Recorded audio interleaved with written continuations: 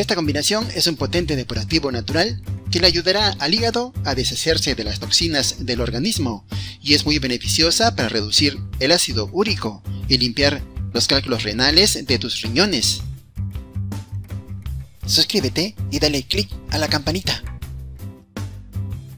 Esta mezcla es un potente digestivo natural y te aliviará de muchos problemas estomacales, como las flatulencias, acidez, ardor y dolor. Además, combatirá toda infección de bacterias y virus en el organismo. El bicarbonato con miel es excelente para quemar la grasa del cuerpo y adelgazar, ideal también para combatir la cistitis, ayudando a los riñones a protegerse contra las bacterias y evitar así las infecciones urinarias. Remedio para tratar diversas enfermedades. Ingredientes. 10 cucharadas de bicarbonato. 10 cucharadas de miel de abejas. Antes de continuar, dime en los comentarios cuál es tu nombre y desde qué ciudad y país estás viendo este video para enviarte un corazón. Preparación. En un recipiente de vidrio mezcla bien ambos ingredientes hasta formar una pasta homogénea. Si la mezcla se pone muy dura y espesa por la miel, Puedes agregarle un poquito de agua caliente para que se disuelva. Modo de consumo.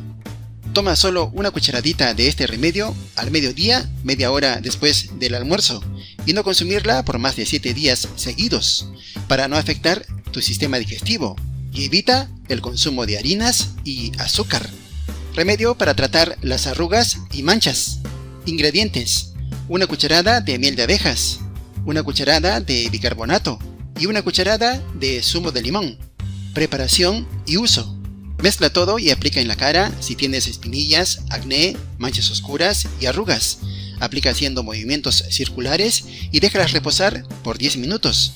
Después enjuaga con abundante agua tibia. Recuerda que debes seguir este tratamiento dos veces por semana.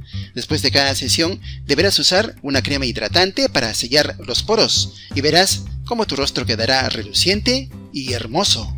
Y a continuación te dejaré otro video que te aseguro también te va a gustar.